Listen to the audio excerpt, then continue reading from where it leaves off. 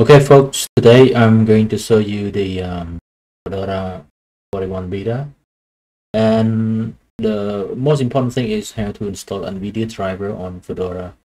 So the thing that you will need to do is to um, go check this website if not true then fall and then you see Fedora 40 uh, you can click and follow all the instruction there until the last bit uh, all the way down until uh, until this part you don't use and this part the form multi-user to go into secure you does not need to do it anymore. You simply after you follow all the uh, instruction from above you don't need to do this kind of system set default to go back into the secure boot all you have to do is to just uh, download NVIDIA driver. I download NVIDIA driver. I put it on desktop. You run the terminal, run the command line, and then you become the uh, admin or root user. You give the executable permissions to the file.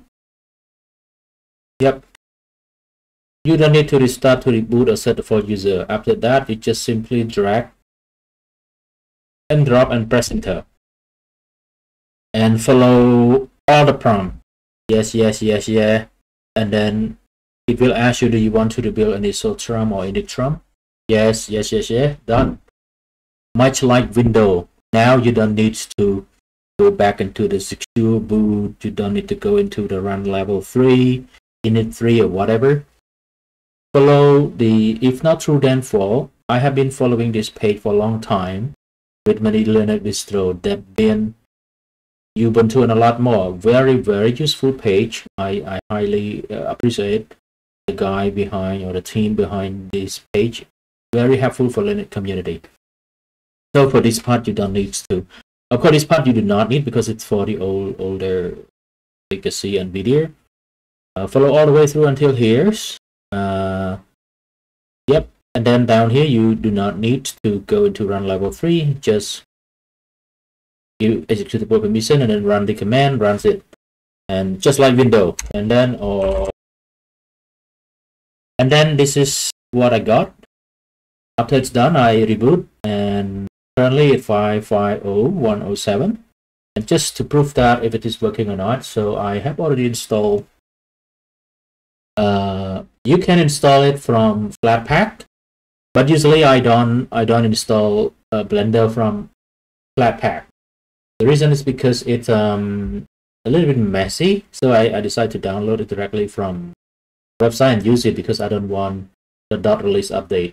And then when you come here, the good thing is that uh, Flatpak might not have a secure uh, CUDA driver, so you need to update CUDA driver and it might not work but for the application I mean what I call the floating application like Blender after you download it and you run the NVIDIA driver. It works in Debian as well you might not see the CUDA driver working because if you work if you install Blender directly from Flatpak especially most applications that run on Flatpak. One API also work as well.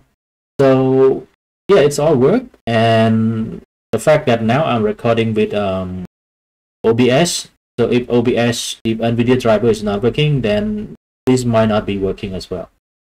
So that's the only way I can show you and very simple.